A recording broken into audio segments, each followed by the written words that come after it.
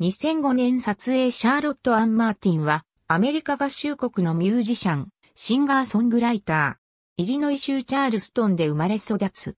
1994年にミス・イリノイティーン USA に輝いた。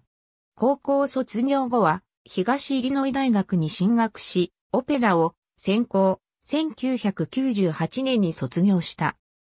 同年に自身の友人の死を受けて作られたアルバムミステリーマジックシーズを制作。1999年にロサンゼルスに移住。2001年にセカンドアルバムワンガールアーミーを制作したが、リリースは見送られた。しかし同名タイトルの EP に本作から数曲が選曲され2002年にリリースされた。2004年8月に RCA レコードよりメジャーデビューアルバム On Your Shore をリリース。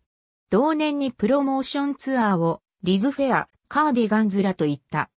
2005年にミュージシャン、プロデューサーのケン・アンドリュースと結婚し、2008年に長男のローネンを出産するが、産後に神経障害にかかり、作曲、レコーディング期間を延期せざるを得なくなる。